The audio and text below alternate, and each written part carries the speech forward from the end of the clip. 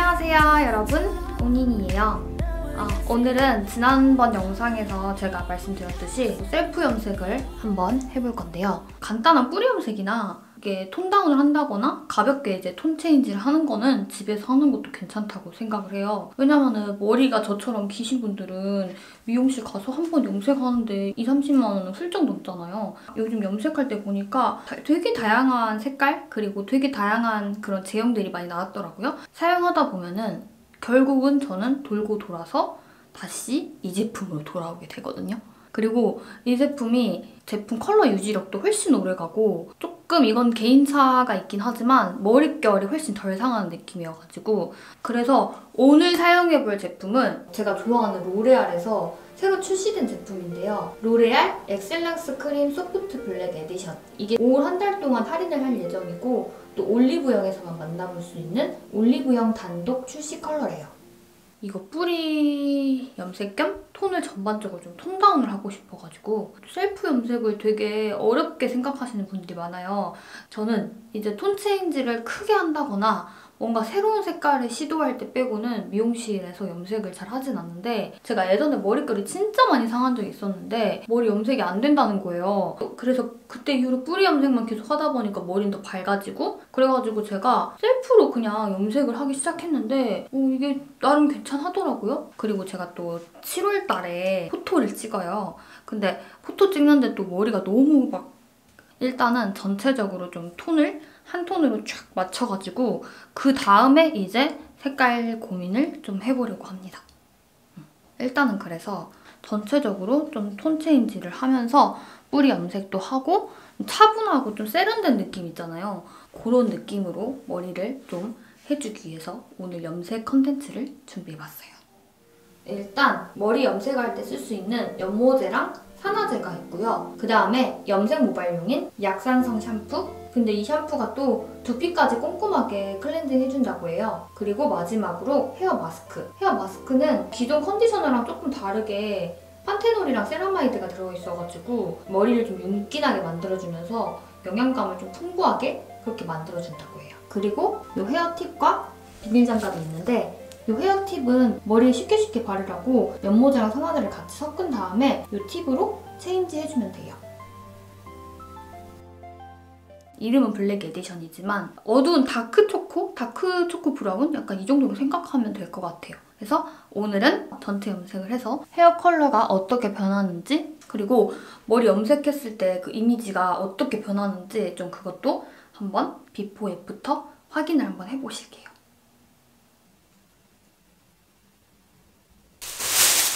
일단 버릴 옷 한 벌 입고 이렇게 저는 머리가 길어가지고 이거 하나, 이거 하나 해가지고 총 두 세트를 사용을 하거든요. 제 머리 정도 길이이신 분들은 두 개 사용하면 되게 넉넉하게 사용하실 수 있어요. 이렇게 꾹꾹 1A랑 1B를 섞어줬으면 얘를 이제 흔들어요. 이빛 대신 사용할 수 있는 요거를 끼워줍니다. 그러면 염색 준비 끝!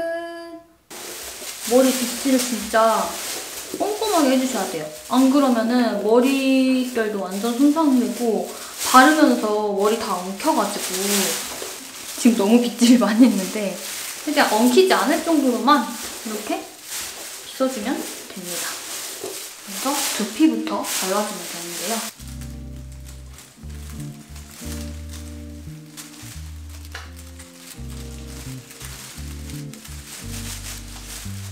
이렇게 짜서 양 조절을 하면서 발라줄 수 있어가지고 되게 되게 편해요. 다음에 머리 섹션을 나와서 이쪽 두피 부분도 이렇게 빗질로 잘 발려지고 있나요? 또 머리를 올려가지고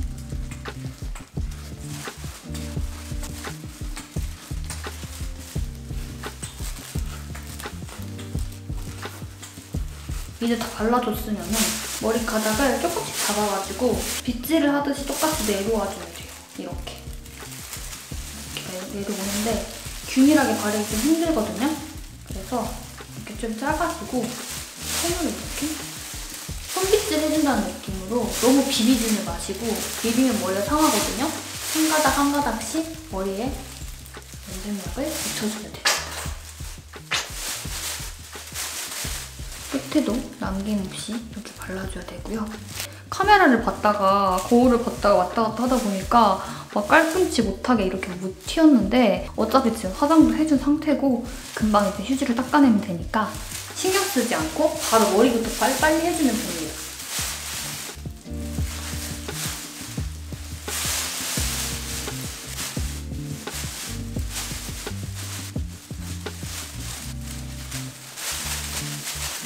이게 로레알 염색제가 제가 사용했던 제품들 염색약들 중에서 제일 그 엉킴도 적고 머리 염색하고 나서 그 손상도가 느껴지는 손상도 있잖아요. 그게 제일 적어가지고 이런 것들은 그냥 이렇게 슉슉 지워주기만 하면 됩니다. 혹시 안 돼 있는 부분이 막 느껴지신다거나 하면은 이게 지금도 절반 정도 남았거든요? 절반? 절반 더 넘게 남은 것 같은데 되게 묵직해요.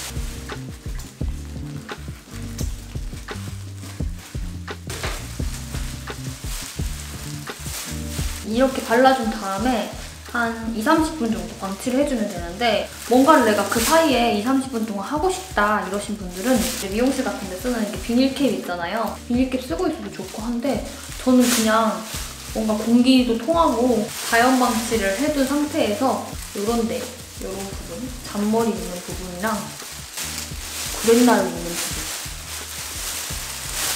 그다음에 귀 뒤에 있는 머리카락 있는 부분 있거든요.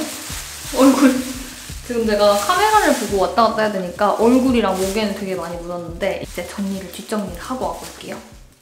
이제 머리를 감아볼 건데 얼마나 깔끔하게 컬러가 나올지 일단 그냥 기본적으로 화장이 돼 있으면 화장 돼 있는 상태에서 머리를 염색해주는 게 좋고요. 만약에 화장을 할 수 없는 상태라 하면은 목, 귀, 그 다음에 이런 라인들에 크림 같은 거 꼭 발라주시고 이렇게 휴지로 지워주시면 훨씬 더 수월하게 지우실 수 있을 거예요. 머리를 한번 감아주고 다시 와볼게요. 저는 이거 두 가지 제품 중에 샴푸가 진짜 너무 좋더라고요. 이거 두 가지로 머리를 감으면은 샵에서 그 관리받고 나온 그런 향기가 머리에서 나가지고 너무 좋아요. 머리 염색하자마자 바로 나와가지고 보여드리는 건데 완전 블랙에 가깝게 됐거든요? 근데 원래 또 막 염색했을 때는 훨씬 색깔이 더 어둡기도 하고 컬러가 본연의 색으로 점점 빠지면서 자연스럽게 되다 보니까 한 일주일 정도는 머리를 계속 감아가면서 지켜봐야 될 것 같아요. 그리고 머리 이렇게 염색하고 나서는 어두운 컬러 수건으로 머리를 짜주셔야지 안 그러면은 수건에 이제 염색물이 들 수가 있어요. 그다음에 옷 같은 거 당분간은 좀 흰 옷? 흰색 옷이나 이런 거 좀 피해주시고 그리고 어, 잘 때도 저는 베개에 혹시 몰라가지고 베개에 수건 이렇게 어두운 수건 깔아놓고 자거든요. 혹시나 이제 베개에 물이 들까봐 깔아놓고 자는데 최대한 드라이를 좀 해가지고 한번 느낌을 보여드릴게요. 머리 컬러가 이렇게 확 어두워지면은 얼굴이 훨씬 더 좀 밝아 보이는? 근데 제가 완전 흑발은 또 진짜 안 어울려서 인상이 또 너무 세 보여가지고 흑발은 절대 절대 안 하는데 지금 화면으로 봤을 때는 되게 헷갈릴 만큼 흑발처럼 보이거든요? 근데 이게 제가 뒤에서 사진 한번 첨부해 볼게요. 빛을 받거나 아니면 자연광에서나 조명 밑에서 보면은 차분하고 좀 세련돼 보이는 그런 자연스러운 어두운 갈색? 그런 느낌이에요.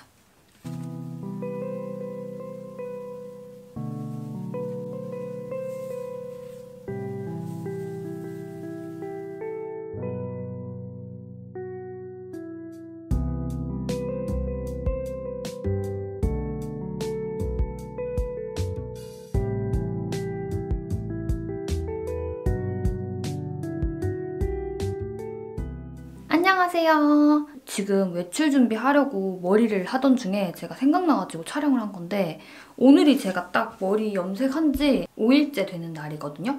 지금 보시면은 머리가 컬러가 저번에 염색했을 때보다는 훨씬 더 부드러운 브라운빛으로 변했거든요. 염색한 날은 제가 나갈 일이 없어가지고 따로 스타일링을 안 해봤는데 다음날 이제 머리를 감고 나서 나갈 준비를 하려고 딱 보니까 어색하지만 또 얼굴이 또 환해 보이고 이런 핑크나 red lip 메이크업이 좀 어색하지 않다는 거 확실히 좀 자연스럽게 물이 빠져가지고 좀 멀리서 보여드릴게요. 보시면은 이렇게 되게 좀 깔끔하고 고급스러운 느낌의 그런 brown black 색깔입니다. 이게 딱 자연광에서 보면은 답답해 보이는 그런 black이 아니라 좀 자연스럽고 세련돼 보이는